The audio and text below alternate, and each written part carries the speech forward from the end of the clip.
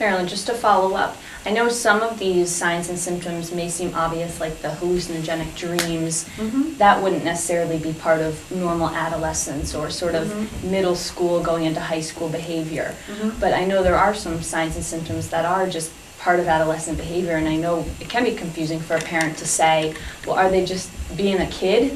You know, they're changing friend groups, or, you know, that's what kids do. Right. So are there any rules of thumb, I guess, to tease out whether your kid is trying substances, alcohol, pot, whatever, or are they just being kids? Right. Very good question.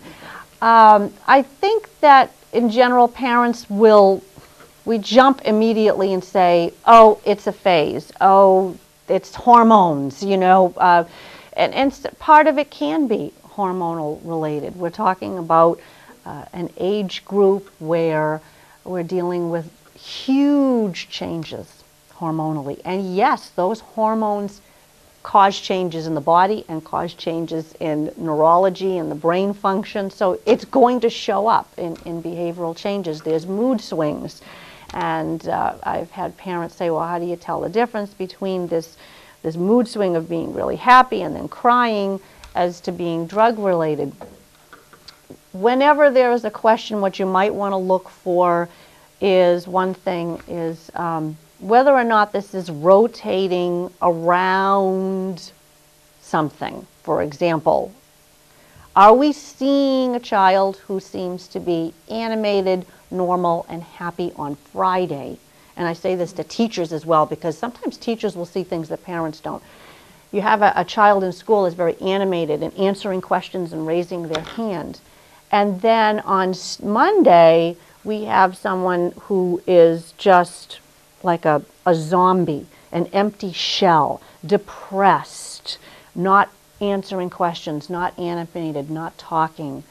And that you will see with a stimulant drug that may be abused over the weekend. If you're seeing this cycle with your child from Friday to Monday, this happening all the time, you have to wonder that something is happening over the weekend. Normal mood changes are not going to occur around like a date as, as like Friday, Saturday, Sunday kind of thing.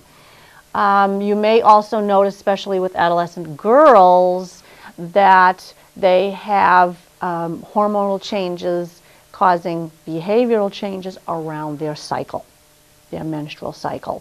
So I could often tell I have three daughters, so I see the uh, the fluctuations occurring around their cycle, and I could always tell where they were in their cycle uh, as far as, as some hormonal changes. You will see girls becoming much more emotional and crying more, and uh, just just more mood swings as they get closer and closer to the time of, of having their period. So that's normal. When in doubt, look at the eyes. None of these things are going to cause eyes to widely dilate or sharply constrict. The only time you are going to see those extremes in the pupils of the eyes are with drugs. The brain cannot make those kinds of wide changes. If you're in a bright room like we are, we have a lot of lights, you expect the, the eyes to dilate, I mean to, excuse me, to, to constrict slightly because of, of protecting the, the retina, protecting the eye if you're out in bright sunlight. If you're inside and the room is dimmed, you expect the pupils to open up a little. But if it looks strange, it's way more dilated or way more constricted than you've ever seen before that looks unusual, it is not caused by the brain. It's not caused by hormones. It's caused by the drugs because drugs will take over the brain's functions and will control the brain and therefore controlling the eyes. So when in doubt, look at the eyes.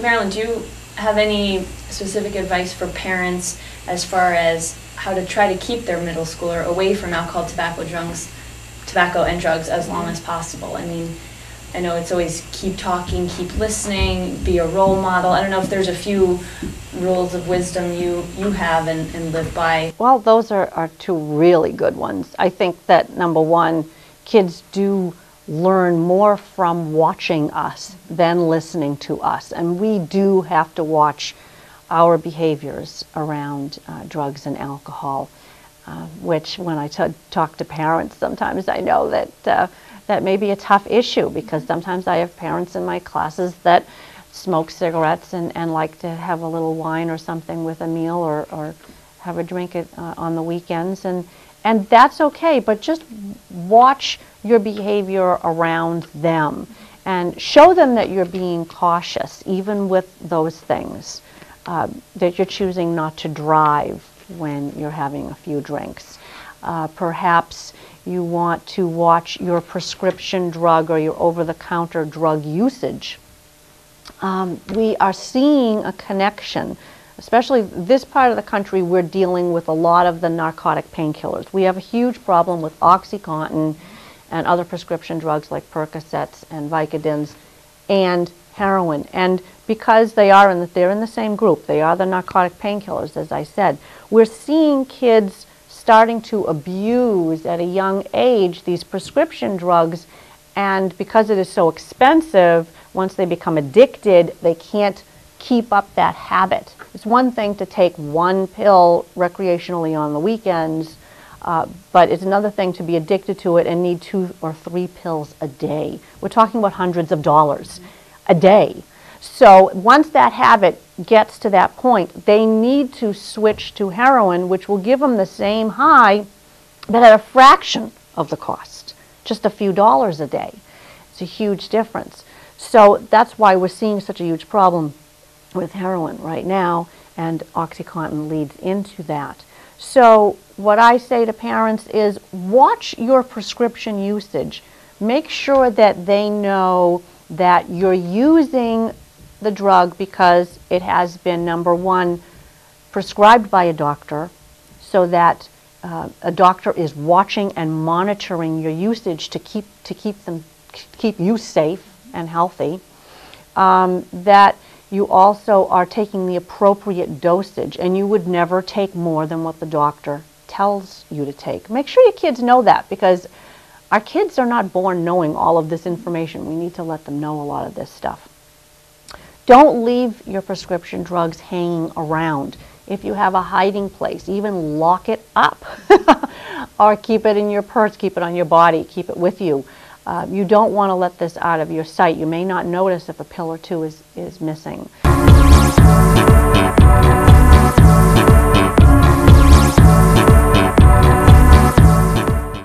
And when you're done with a prescription, get rid of it. We have a tendency to keep stuff, you know, because we might six months down the road throw our back out. We might need it later. Uh, we don't want to flush the pills because they cost so much money. We worry about money and we don't worry about our kids.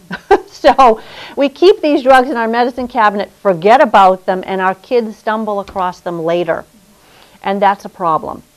And they're out of sight, out of mind. We forget that they're there.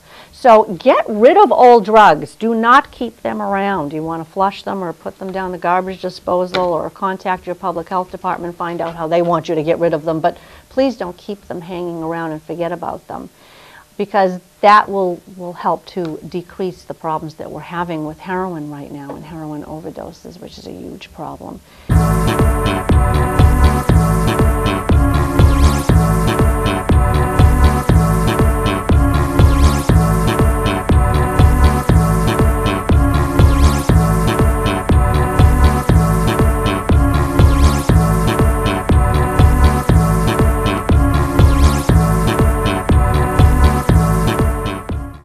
You also want to make sure that you do talk to your kids. That is an excellent point you brought up.